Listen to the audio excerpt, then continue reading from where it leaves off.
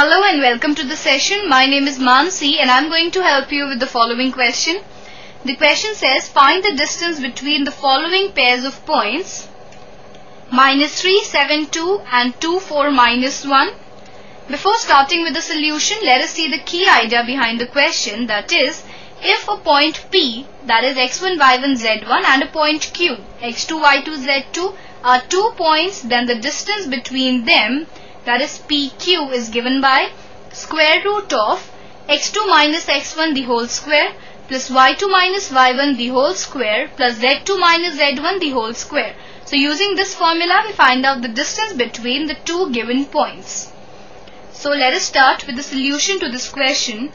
Let the point P be minus 3, 7, 2 and the point Q be 2, 4, minus 1 then PQ that is distance between P and Q is given by square root of 2 minus minus 3 the whole square plus 4 minus 7 the whole square plus minus 1 minus 2 the whole square.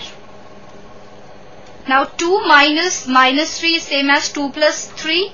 So it is equal to square root of 2 plus 3 the whole square plus 4 minus 7 is minus 3. So minus 3 square plus minus 1 minus 2 is again minus 3. So minus 3 the whole square.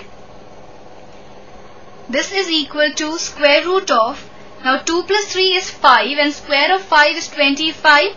Square of minus 3 will be 9.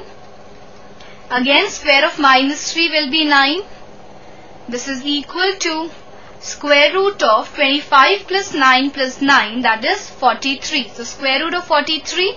So our answer to the question is that distance between these two points is given by square root of 43. So this is our answer to the question. I hope that you understood the question and enjoyed the session. Have a good day.